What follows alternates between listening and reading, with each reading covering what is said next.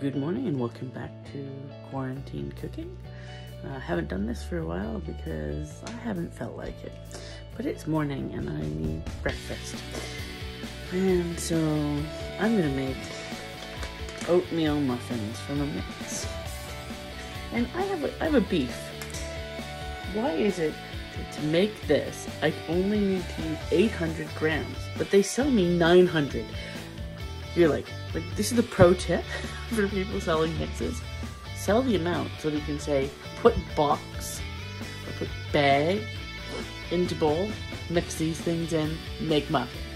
So I would be okay with buying 800 grams if I could just follow this. So now I have to do math figure out how to how much more to put in for an extra 100 grams. So here we go and let's see what I can come up with. I'm probably going to do a bit of a loaf as well. So I'll do six muffins and the rest into a loaf uh, because everybody seems here to like a loaf better anyway. So wish me luck.